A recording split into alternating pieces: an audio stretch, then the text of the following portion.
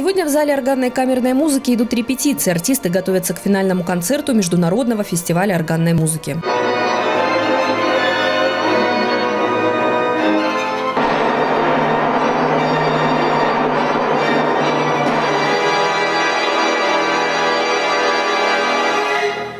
На закрытии фестиваля прозвучит концерт для органа, струнных и литавр французского композитора 20 века Франсиса Пуленко.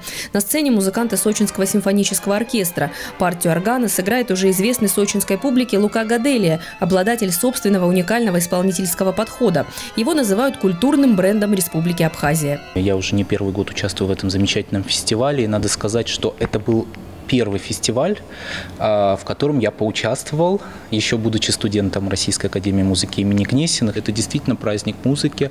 Я сам стараюсь э, посещать все э, концерты фестиваля, поэтому действительно замечательное событие для города.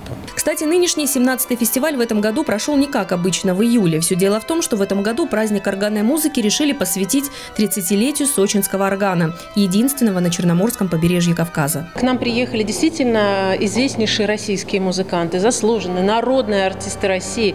На нашем органе э, в череде вот этих музыкальных поздравлений звучали такие программы, как «Бах», «Рок», «Джаз».